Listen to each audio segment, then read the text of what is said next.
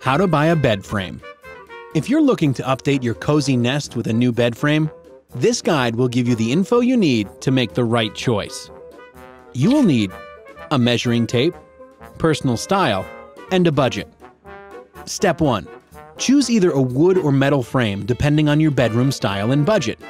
Quality frames will use either screws or dowels instead of cheap staples. Step 2. Measure the height of your mattress and box spring to judge how tall a bed frame you can purchase. Avoid getting something that is uncomfortably high. Low profile box springs are available if the bed frame you like is too tall. Step 3. Consider creating more storage under the bed with a higher clearance bed frame. Use a bed skirt to hide anything you don't want seen. Step 4. Pick from a number of styles that include canopy, four poster, sleigh, platform, day, or trundle. Just don't blow your budget or get something too big for the room. Step 5. Test as many bed frames as you can by laying down on each one with your significant other to discover any annoying squeaks or other problems. Step 6.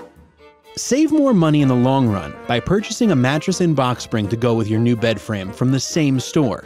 Then, savor the knowledge that your room will look great while you sleep. Did you know?